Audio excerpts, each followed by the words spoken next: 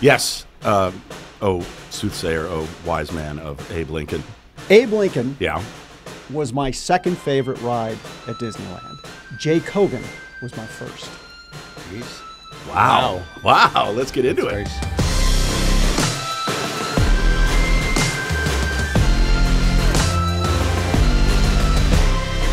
How to Be Abe Lincoln, based on the book by Jonathan Shapiro.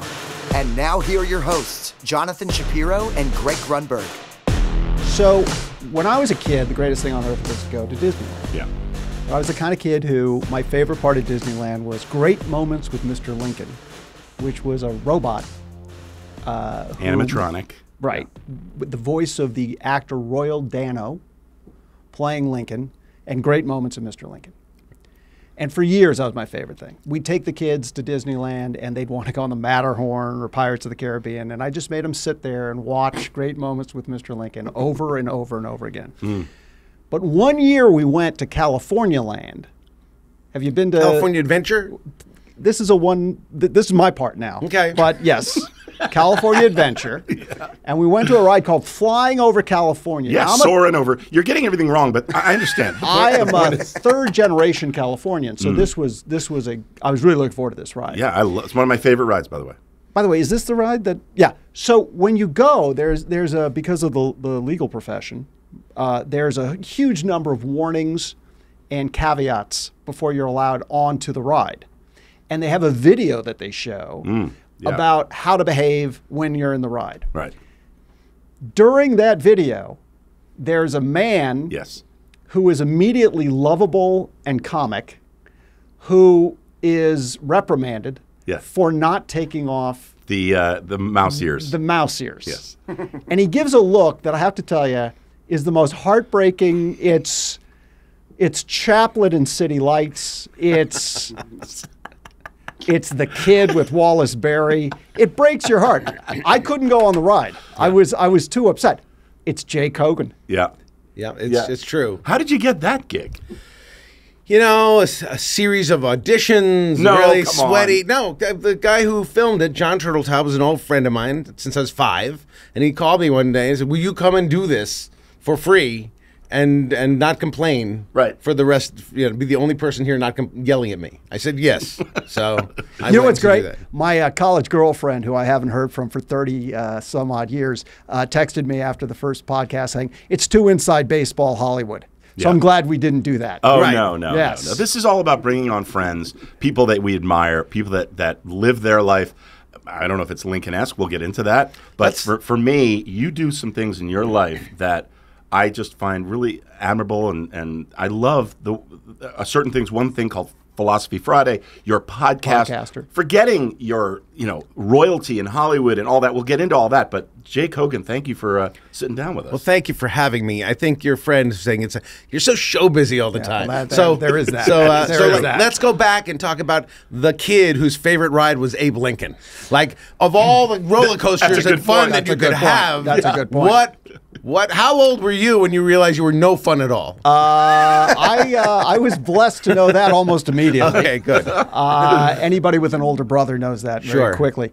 Uh, what I loved about that ride and what I loved about Abe Lincoln and what I love about Disneyland is the narrative power of the dream, right? You go to Disneyland and you're in these different lands and you have these different adventures that are really uniquely American.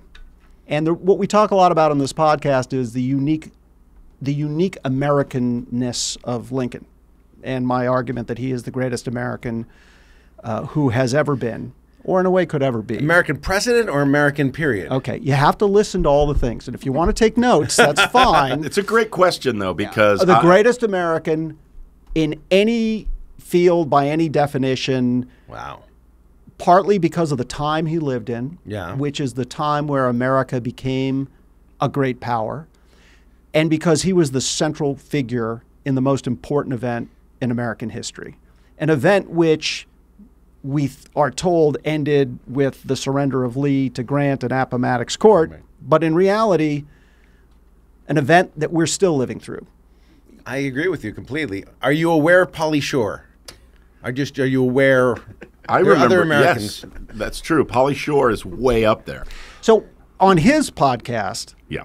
which is talking about My podcast. Amway, I No, my podcast is called "Don't Be Alone with Jay Kogen," Well, th- no, that's what the court order says. Yeah. I asked about the podcast. and the Right. podcast takes pro. I take very interesting and uh, and and smart people and that I know, and I pose questions to them that are on my mind instead of them coming their expert. I I pose a question that I think they will help me get through, and then we talk about it. and that's helped you and your viewers, Uh, listeners. listeners. Yeah, I guess. I don't know. It hasn't. It's uh, it's it's it's dropping soon. Oh, It's it's not- it's not out No, it's dropping in October. So sometime. when I said I've enjoyed it and I've listened to every episode, Right. we knew you were lying. Yeah. but you're a lawyer, so that's fine. It's like me saying I loved your book. not. See, that's funny. That's the kind of funny thing you should say on the podcast. I should say that on the then podcast, and everyone kind of would enjoy it. We will get notes about. It. Getting back to Lincoln, because Yeah, my, my ex girlfriend said we got to focus a little more on Lincoln. Was that she said that when you were dating her, or Yes. she said currently? Yes. And I thought in 1982, that's weird. That is weird. I don't know what your podcast. Right, she's What is like, that? She's an you alien. Feel very animatronic. I want to talk about Lincoln. Lincoln is fascinating to me. I love Lincoln, now, do you, do you you said our greatest president? our greatest president. So you don't feel the greatest American?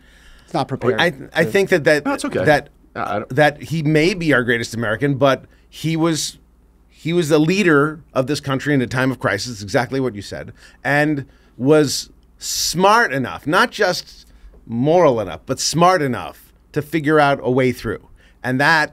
You know, so he using uh, you know brains and and his own Humor. inner guide, and you know he's he's a, a, a canny. He's not just you know standing on the principles of like you know abolition or anything. He's he's waiting. He waits people out in the right way. He sort of talks around them to confuse them until until they ultimately don't know what has been said, and then he'll figure out the right time to push forward in a political thing or in, in, in the case of the war thing and figure out where that goes. So few people have ever led this country that way. Uh, I'm fascinated with your answer because it shows a real deep knowledge of Lincoln. Are you a Lincoln Yeah. student? What am I doing here if I didn't love Lincoln? Well, you're friends thought of this ours. was friendship, actually. Is what I thought this was. No. And have you been a lifelong student of Lincoln? Is this something that you've come to later in life? As I learned more about American history over time, well past when I was in school, as an adult, the Civil War became fascinating to me. Abe Lincoln became fascinating to me, just as George Washington is fascinating. There's many different leaders of our country who are fascinating to me for different reasons. Um, the George Washington story is a fabulous story too, but uh, the Why don't you pitch your own podcast? no, Okay, this is no, I have my own podcast. This is all And it's about not about. By the way, about- you say it. I have not heard it. yeah, now you say that. But no, he the Civil War, as you say, is the defining the defining moment in American history and is still reverberating right now in this current election and will until we can get our heads out of our asses and figure out how to solve you know this weird divide that shouldn't exist but does. we had a, a wonderful uh, two guests from South Carolina, and I think we were both taken aback when I asked them, "What is the view of Lincoln?" One of them's a professor among your students in the South. So see, here's the thing. I asked that question, and now he's taking credit for it. That's but great. it was really interesting because it, how do your students react when you bring up Lincoln? Right. What was fascinating was he said there's an immediate aggressive anti-Lincoln attitude, and these kids don't even know why. Right. They don't have a real answer, an educated answer. It's just they've been raised to be us against them. This is this is what this new generation. So how do you think Lincoln would have dealt with what we're dealing with right now? Well, which gets us back to Disneyland. Mm-hmm. And the re- Nick, don't snort. know. There's a there's a plan here, and you undercut it No, with no, no. that. Nick's doing cocaine. Okay, well, That was not a reaction to what you said. get some law business out of this too. Yeah. Um, Walt Disney and Pablo Picasso, two great artists of the 20th century. The great British historian Philip Johnson, in his book Intellectuals, compared the two of them and asked the question which one will be remembered in a thousand years? And Johnson makes a strong argument that Walt Disney will be.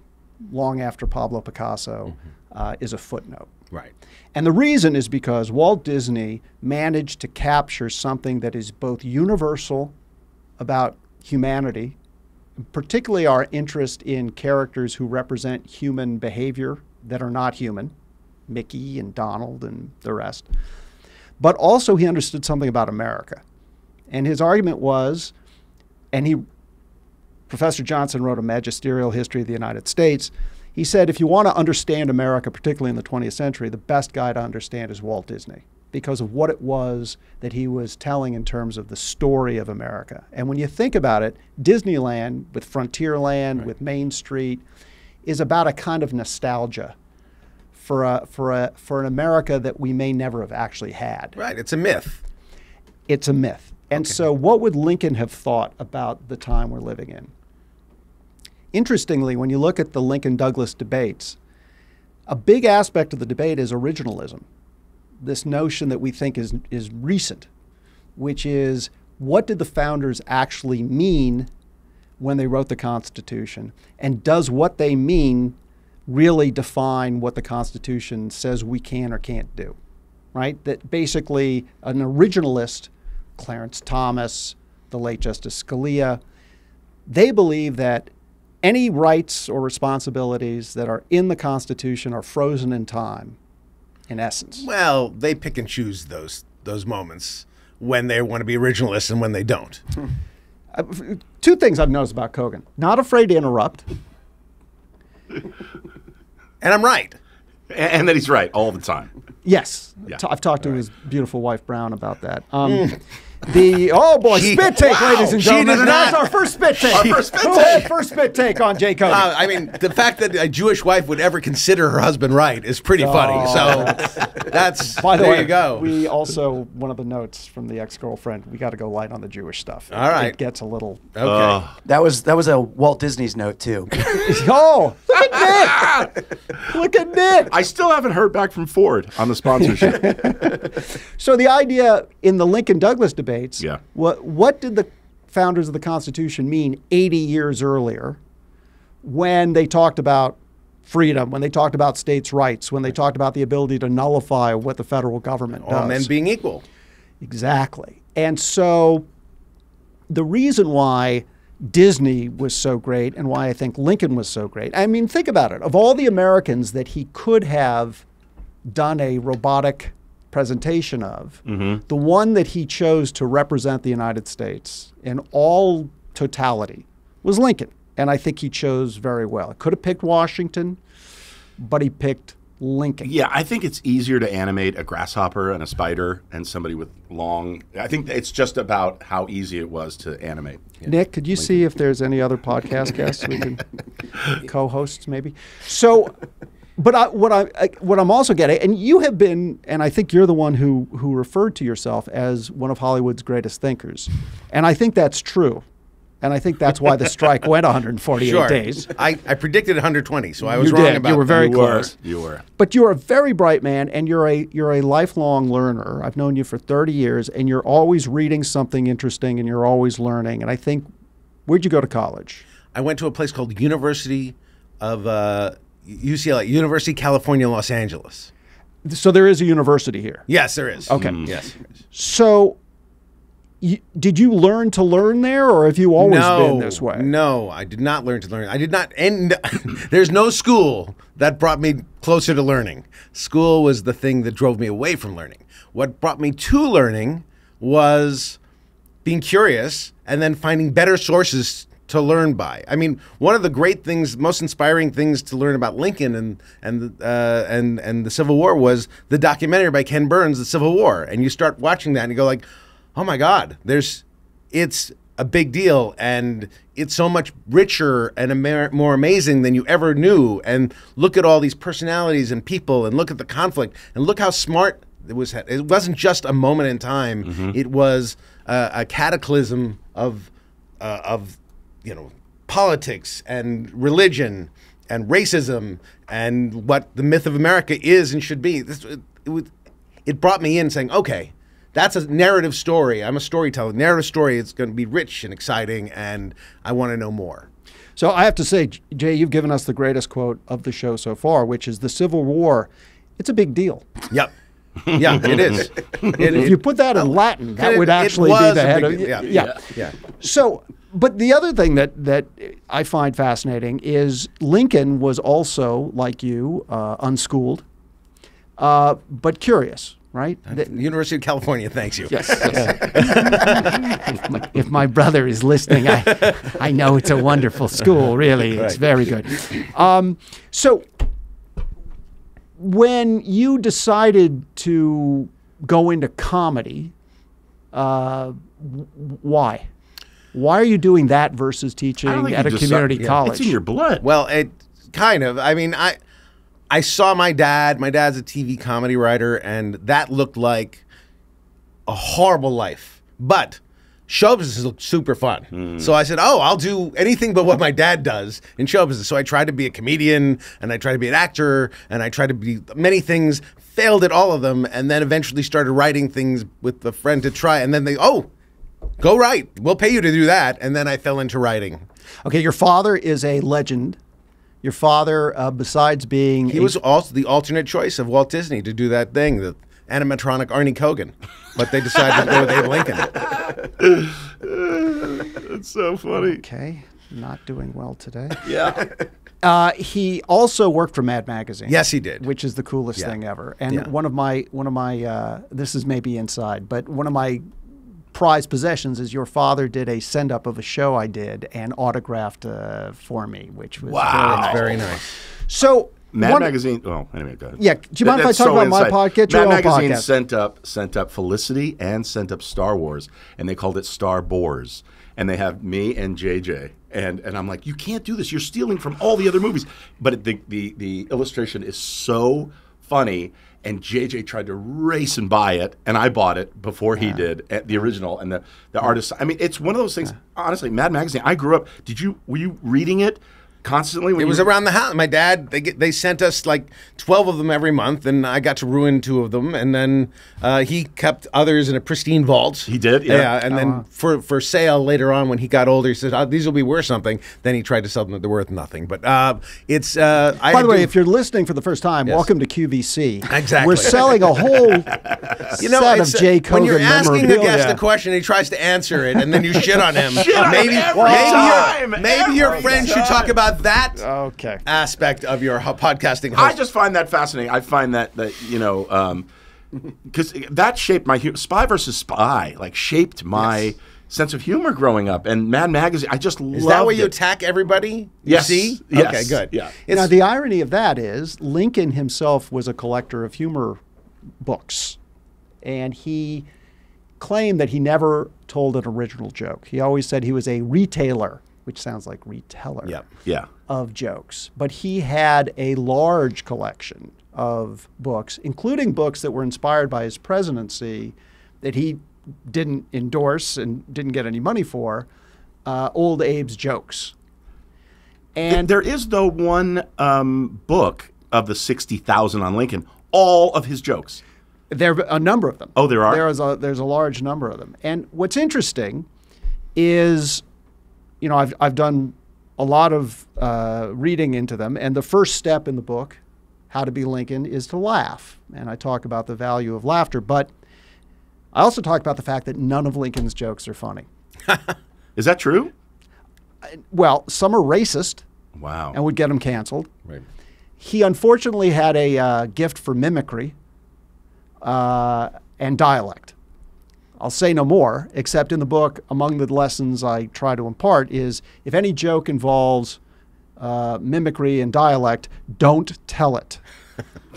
Unless you're as good as Abe Lincoln. Right, right, right. Speaking of his voice, the actor who played the voice of, Oh. of Lincoln in, in the ride that you love sounds nothing like Lincoln. From what we know about Abe Lincoln, with the high pitched, Now, weird ass is- Oh, voice. yeah, how This do, is where Do we, interesting. where do we hear? Like, if somebody wants to hear what Lincoln sounded sounds sounded like, I I, I, I don't know what. There's it- only descriptions. Daniel Day Lewis and uh, this fella Spielberg Yeah, put yeah. a lot of time and effort in collecting all the contemporary accounts of his voice and going to uh, experts on dialect and particularly 19th century dialect and they fashioned what they believe, and I guess what historians believe is probably the closest we're ever going to get. And my problem with the Lincoln book, which I discuss here, is uh, I didn't know if he sounded like Ned Flanders from The Simpsons, but that's how Daniel Day Lewis played it. Right. Yeah. It's a high pitch kind of, I will have the Emancipation Proclamation. Yeah. And I read That- people. that- people he- said he had a high pitched voice, right. and and and like former Dodger Willie Crawford, for a large man, he had a very kind of a squeaky, A squeaky, weird ass voice. does it, bring up that picture again, Nick. Nick, does that look like a man who has a high pitch? He was so tall. He was, That's Yeah, it was weird. And then when he uh, all his famous imagine all his famous speeches being spoken by a high pitched squeaky voice. Right. and it it kind of fits with every other aspect of him Yeah. because because the incongruity of Lincoln in every aspect the the fact that he looked like a monkey or an ape or a baboon according to people who who didn't like him and yet most people found him in an odd way attractive everybody who knew him and talked about him talked about the fact that the photos and he was the most photographed American up to that point that had ever been. And he was a willing participant and an eager participant in creating this visual library of his image, even as he made fun of his own Sure. looks, right? People say the photos never did him justice because there was something in his movement. Right. But he was a genius.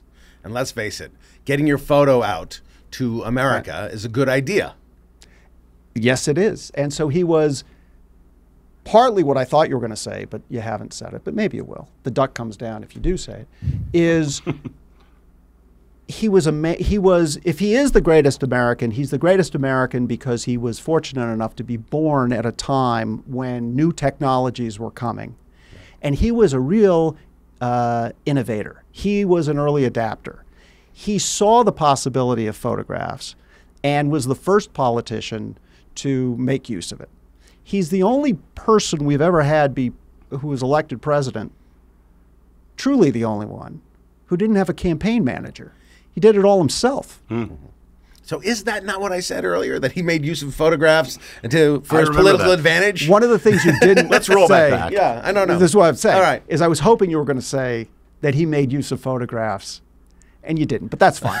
And you know we have the tape. And Nick, Nick- You were going to, and I think I But here's cut the you thing. off. Nick can what's clean it up. fa- I'll fix it in fascinating too is no matter what, if he was living in today's technology, he wouldn't be president, and he couldn't be president with a high squeaky voice and the weird, you know, his weird quirks and and less attractive than potentially. We just elected a man who looks like the Syracuse mascot, and you're saying Abe Lincoln couldn't be elected president? yes, yes. Interesting. Uh, I think there's there's boom in that guy's voice.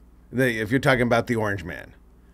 so, so your experience as a second generation Hollywood legend, who is the launching pad for who is going to be the third generation, your your your talented, Very talented songwriting son. Right. Who Also- just just dropped? just dropped a single Yep. this weekend. Yeah. Right. Please Yeah. uh, listen to I- uh, I- Charlie Kogen. That's K O G E N. Yeah. And the new song is called um, uh, "Party Life of the Party." Parentheses of one. That's his. Uh, new You know, Lincoln, his genius at branding and advertising was to know the title of his son's He does music, remember and he yes. knew it like that, right? Yeah. Yeah. My son's so prolific. I can't keep up with all the work. yeah. if uh, if I could uh, if I could maybe the GoFundMe psychiatric help for Charlie Sophie, I'd like to give five bucks. Can we So I talk- want- can we can I can I finish one thing? no. Yeah, go ahead. I was going to say, I want to just talk about, because you're talking about your son, talk about Lincoln as a father. Hmm. Because uh, there's a potential guest that is unbelievably hilarious. And, and he was texting me all these things. He's like, Lincoln was the greatest American to ever live, the worst father to ever live. He had four boys. One of his boys was at all three assassinations, which is weird. That, that he was there at his dad's, he was there at, uh, I don't know, two others. And that's Lincoln's fault. No, no, no. But he was saying. Who and is then- this schmuck? I don't the want him as a guest. The other three died. Yes. Yeah. So, uh, but, but To be fair, there were a lot of people dying in the 1860s. Like that, it was not a great time to be alive. Medicine wasn't true. great. You know, life expectancy was like 28. one died as a baby, the others died. Like it was like the- it's. Oh, they did. Okay. Yeah. I I just I'm, I'm asking Well, you. what's how- fascinating- Was he yes. a good father? Well, that was an that was a much discussed and debated issue there were people who felt that Lincoln was a bad father at the time because he was too, I guess you would say, woke. He was too progressive. He had been beaten as a child. His father, Thomas, was, uh, was not a drinker or a violent man, but he was of that school of thought that was 19th century America that spare the rod, spoil the child. Uh, Lincoln wouldn't hit the kids and didn't hit the kids. And Lincoln believed in spending quality time with the kids, playing with them. And as I talked about, I think last time, you know, his, his, his youngest son, Tad, if he were alive today, would be diagnosed as on the spectrum mm. with autism, and he had learning disabilities, and he had uh, he had a, a, cleft palate, and he had you know real challenges that Lincoln always showed almost saintly like patience with. Did Lincoln openly talk about that? Back People then? not only did he talk about uh, his sons in in a positive, loving way. Uh, and the Lincoln movie does a good job about the conflict with Robert, his oldest son, who wanted to go fight in the right. Civil War. And Lincoln, fearful that Robert's death would destroy Mary Todd, kept him out of the war. Right.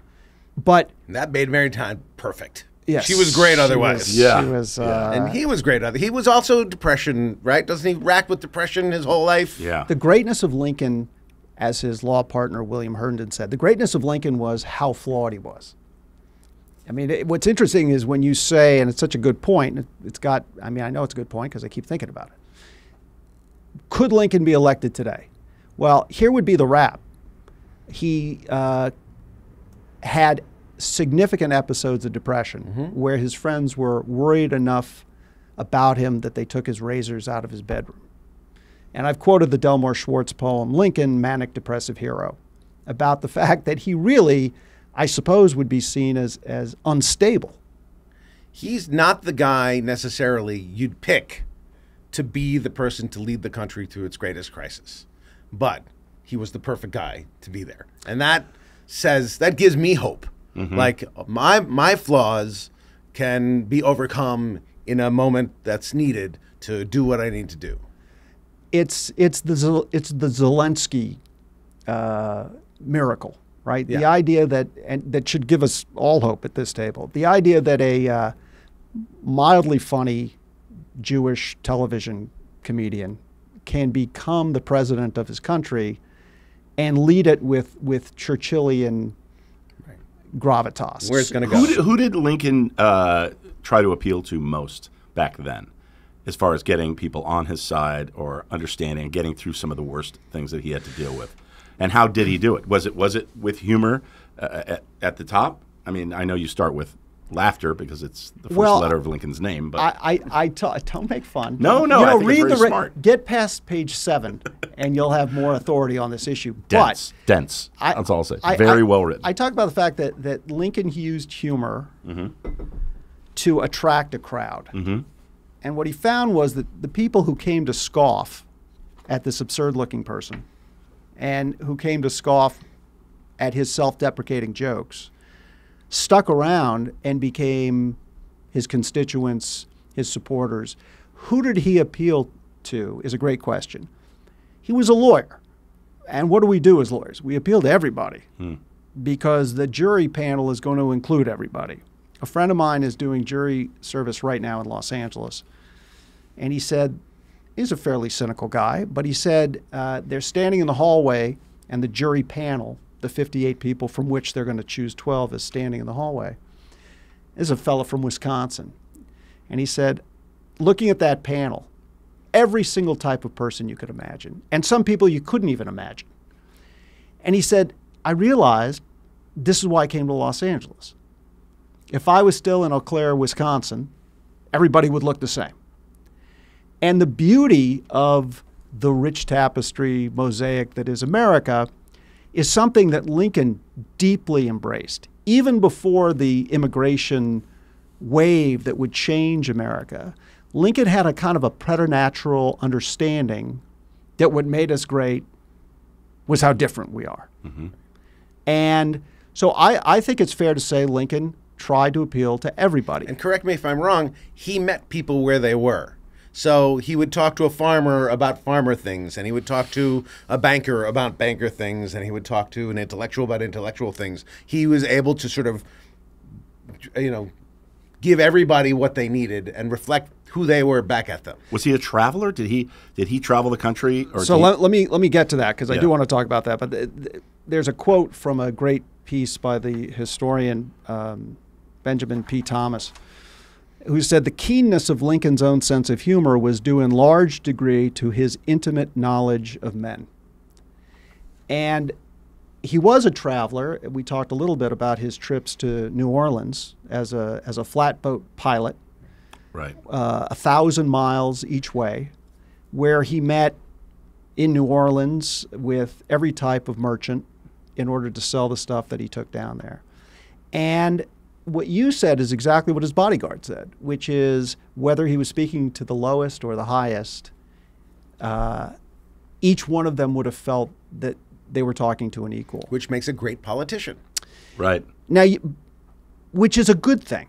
Yeah. You know, the, the, I'm not being derogatory. Right, No, no, it's right. very- That's just, uh, Barack Obama did the same thing. That's right. I'm, I'm reading, listening to right now, A Promised Land, and it's it's fascinating. The beginning, at the beginnings, he keeps trying to go back to these stories he heard about how, how troubled the country was at the very beginning when he was running, and uh, and Axe, you know, David Axelrod would say, okay, you know, these you've got to avoid the answer, the, the questions that they're giving you, just sort of don't answer, answer them to make them think you're answering the question, but get your points across. And he's like, that's bullshit. I don't want to do that. I want to answer the questions. These are really serious questions that people have about their own personal lives. And it came from all of the people that he met and the troubles that the country was going through. Well, which gets us back to could Lincoln be elected today? So, a little bit I talk about comparing two Illinois, Illinois politicians, Obama and Lincoln, and their similarities and their differences. And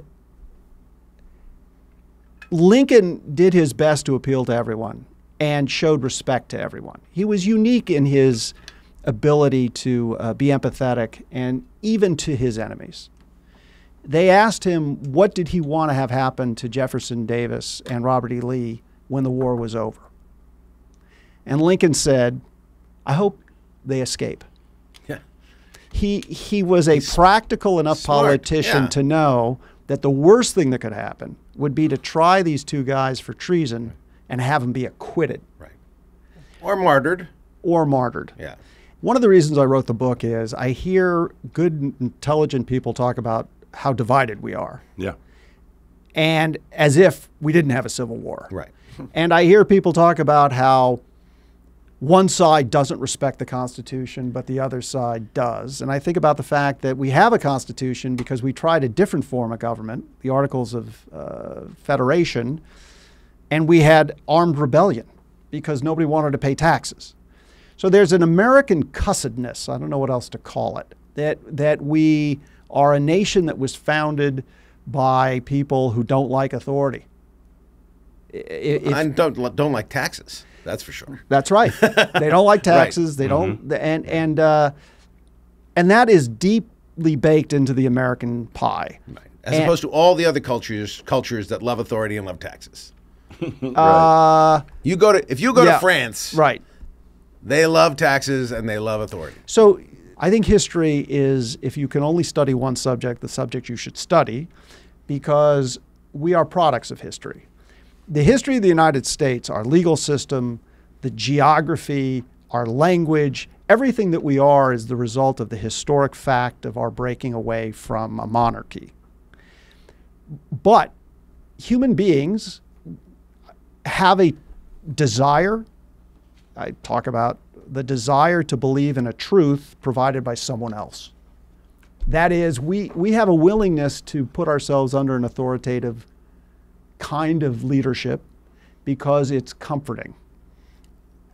I, I half agree with you. I think we. Well, I got a half there. We need we need belief. We need values. We need belief. We need to believe in something for We sure. need fa- we need to I have faith in something. I don't know that we need a leader or somebody else necessarily to have. There's lots of independent people who have come up with their own idea of what they believe in. But yeah, I mean, I, I I'm so I, I totally agree that we seek some core belief to operate our lives on.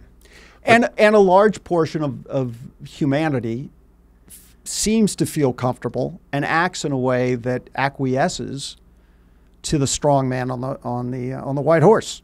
Right.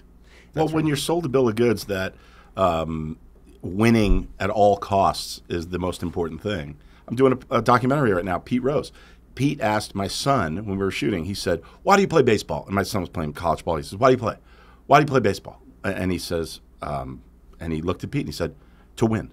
And Pete said, "Yes, I am tired of this trophy and that trophy. That's not what we're about. You either win or you lose. That's it. You don't win. You don't. It's not about." teammates. It's not about friendship. It's not about learning the game. It's not about uh, you know being in better health. It's not about any of that stuff. It's about winning at all costs.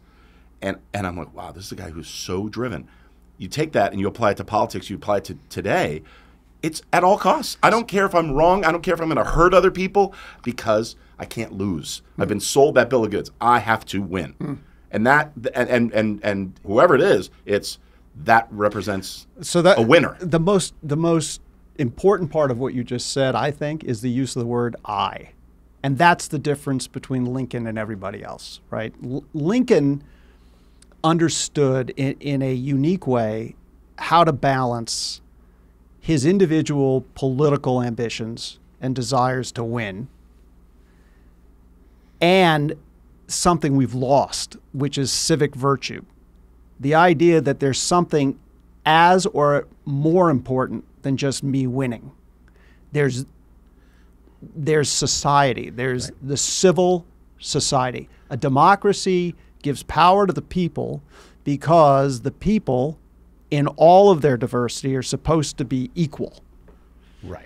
And we've lost that. Right, because one of the beliefs that are no longer being instilled in people is the belief in this experiment that Lincoln tried so hard to save.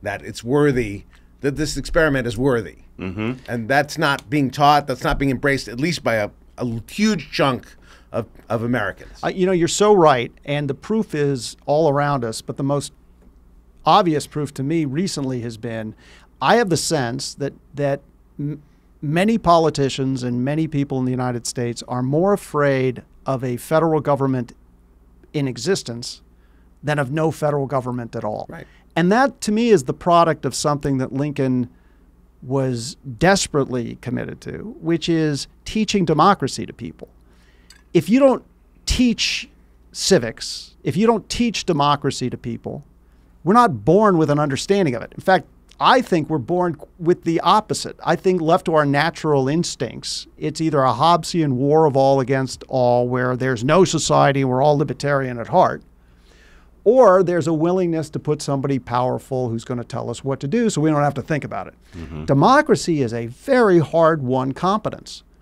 For sure. And we haven't given people the tools to operate the machinery. Right, but, but even more, there's other stuff pushing back against the idea. Like, you know, for the last, I don't know, 80, 60 to 80 years, there's been people saying, you know, the, the government's the problem. And that, like, just, that's, that your government is the problem. They're incompetent. They're terrible. Your taxes are being wasted. That message has been hammered and hammered and hammered. And that's all that some people see. They don't see, and these are people that, generally speaking, aren't living in the big cities to see what government's really doing and to see that there it requires infrastructure and Right. requires. So, All right, luck we, without it. We're, we're running out of time, which kills me because uh, I want to. So, two things. I want you to come back. I thought this episode was going to be a lot funnier. I did too. I blame Kogen sorry. because they're not going to blame me. I'm a drama guy. exactly. Jay Kogen is uh, what we would say in Latin is a guten Schimmel. He's a good soul. And before I became a writer in Hollywood, uh, he was one of the writers in Hollywood who I got to meet through my beloved wife.